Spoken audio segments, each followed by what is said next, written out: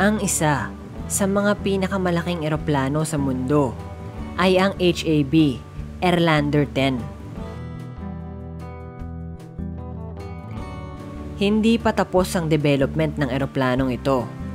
Originally designed ito para sa US military pero kinansel ang program.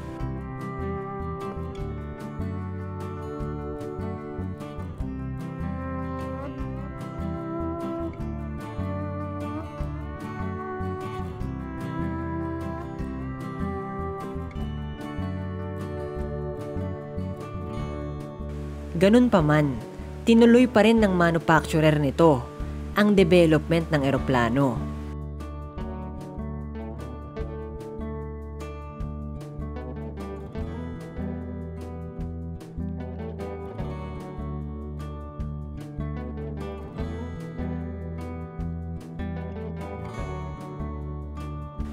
Ang pangalan ng manufacturer ay Hybrid Air Vehicles at isa itong British na kumpanya.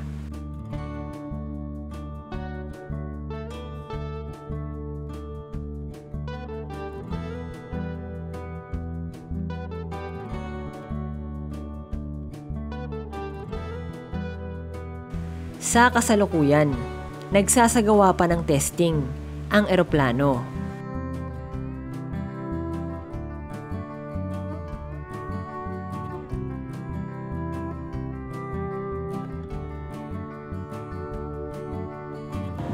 Maraming pwedeng paggamitan ang eroplanong ito.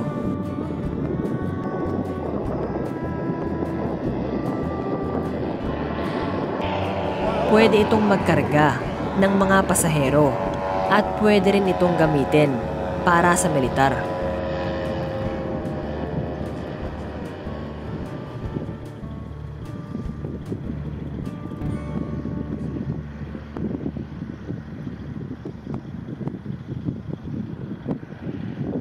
Ang isa pang sobrang laking eroplano ay ang Boeing 747 Dreamlifter.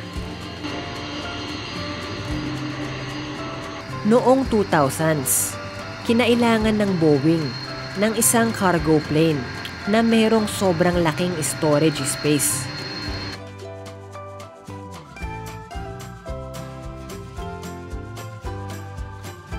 Meron kasi silang ginagawang eroplano na ang mga components ay galing sa iba't ibang parte ng mundo.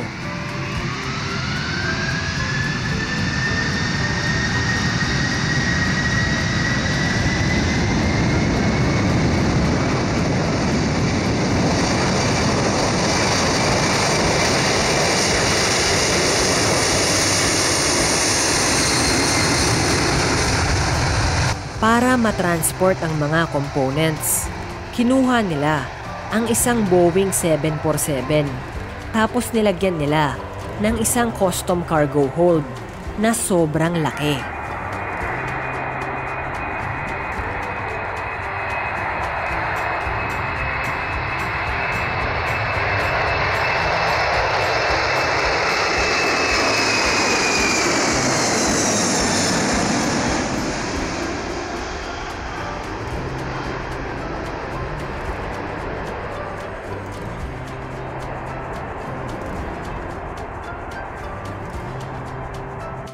Ang Boeing 747 Dreamlifter ang kinalabasan.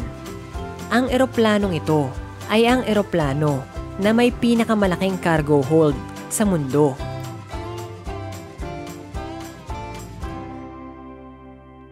Ang isa pang sobrang laking eroplano ay ang Airbus A380.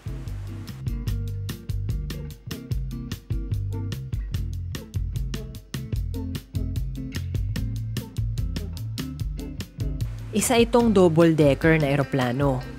Dinisenyo ito para sa World Exponential Air Traffic Growth.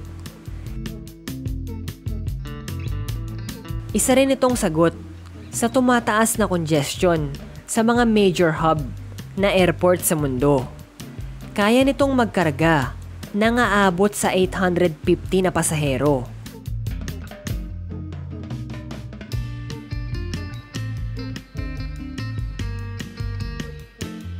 Ganun pa man, Madalas, ang kinakarga lang nito ay 450 to 550 na pasahero para hindi masyadong masikip.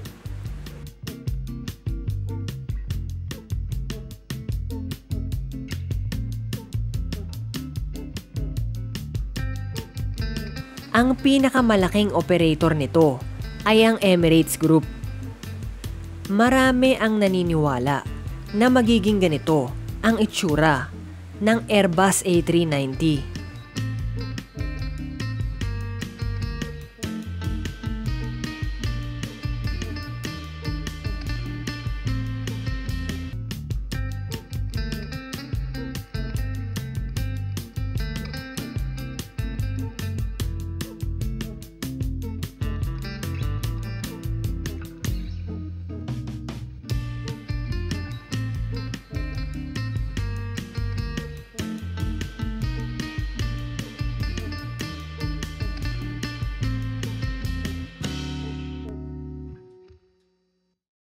Ang isa pang malahiganting eroplano ay ang Lockheed C-5 Galaxy.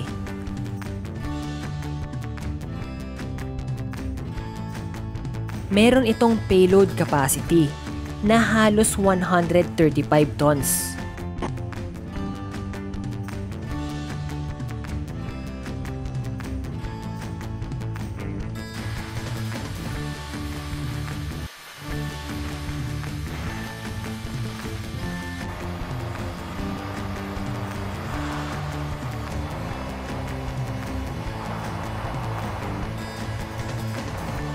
Ito ay ang pinakamalaking aircraft na routinely ino-operate ng US military.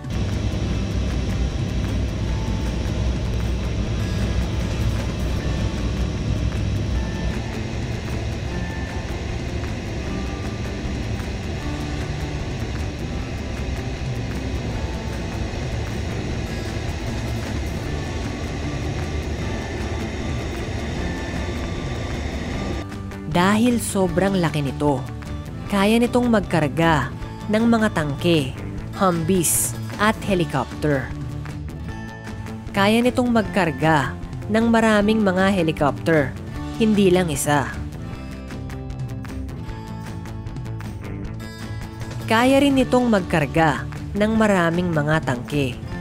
Pag wala itong cargo, kaya nitong lumipad ng hanggang 7,000 miles nang hindi nagre-refuel. Dahil doon, isa ito sa mga longest range military airlifter sa mundo.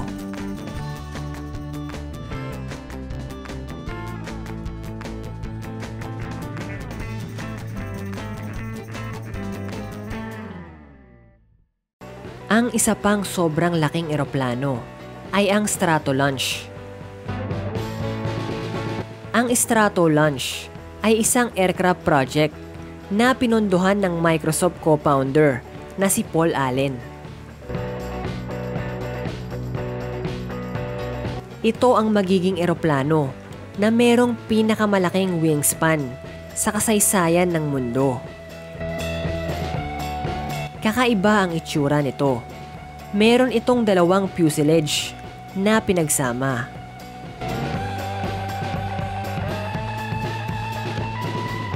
Dinisenyo ito para matugunan ang mga pangangailangan ng private space industry.